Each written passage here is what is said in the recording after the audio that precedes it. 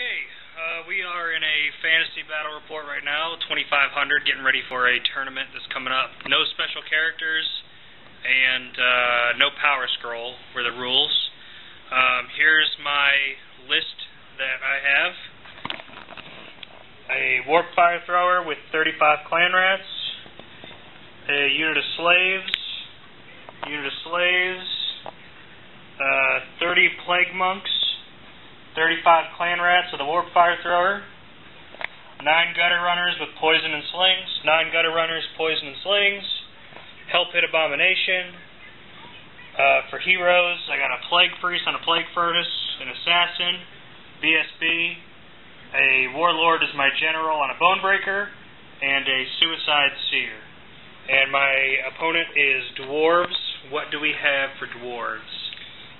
Well, we have uh, ruined up uh, grudge thrower, uh, assault gunship, thunder units, two organ guns, a unit of uh, quarrelers, unit of iron breakers, and a unit of longbeards.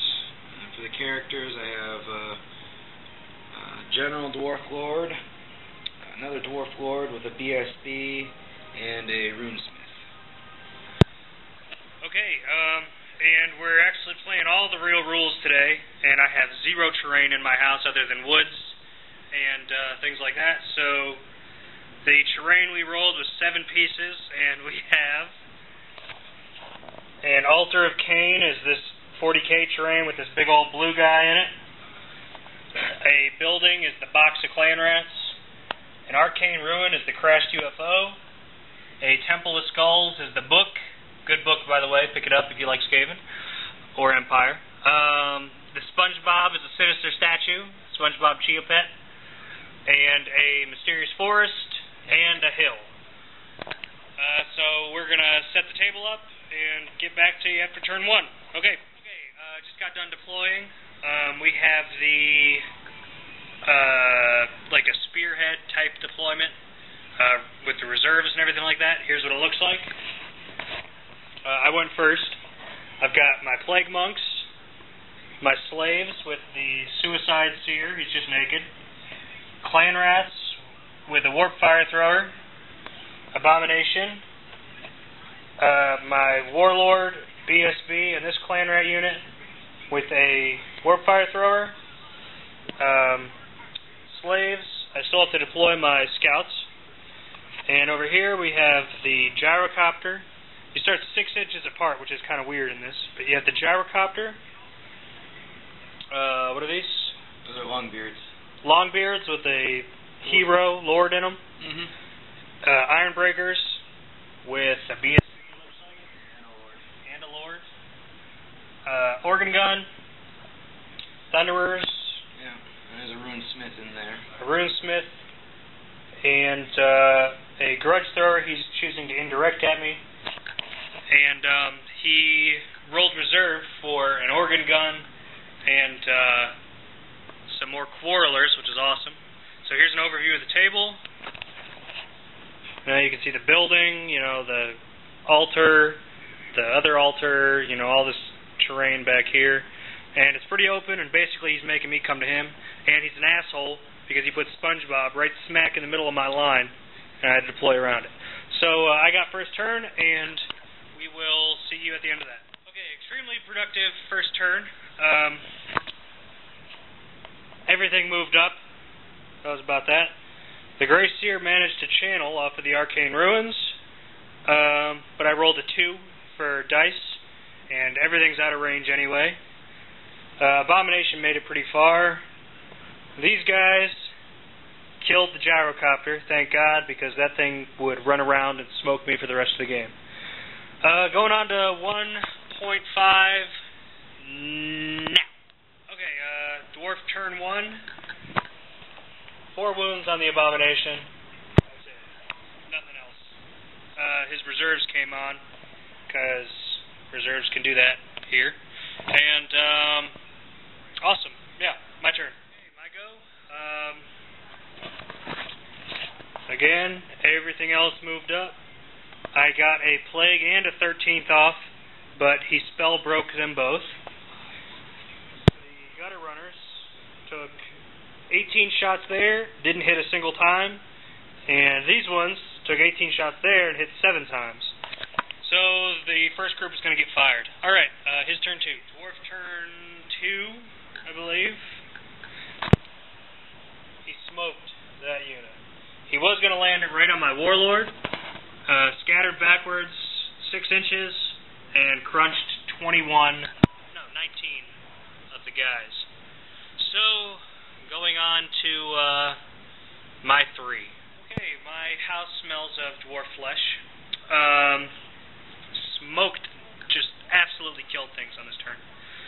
Okay, uh, let's take a look at the battlefield here. The abomination actually died last turn. Turned into rat swarms. The rat swarms charged there and got wiped out. I was able to sacrifice my warlord on the Temple of Skulls, and he's now weapon skill 9. The gutter runners took out the stone thrower, hiding back there. So that's good. Um, and the big money maker on this turn, which might have made me lose a friend, is I plagued there, and out of 22, he lost 11 from plague, and then at 13th, and he lost 11 more. So his iron breakers have been bent over the table and uh, my suicide seer is about to kill himself. So, um, his turn three. Okay, we just finished turn three. Um, pretty bad dwarf turn actually. He needed a, a big, big money here. He killed off a bunch of those clan rats, but they're good. Actually, I didn't take my panic check. Yeah, they're good. Hopefully, hang on. Seven, yeah, they're good Okay, so killed off a bunch of those. He charged there and won combat by a long shot, but thank God for steadfast. And he did four wounds to the furnace, and the priest actually made two ward saves. And uh, that was his turn three. And just real quick, because um, we need to get thoughts on this. Andrew, what are your thoughts on steadfast? Fuck steadfast. so we have some some big problems. It's official, man. This will be the last time I ever see Andrew.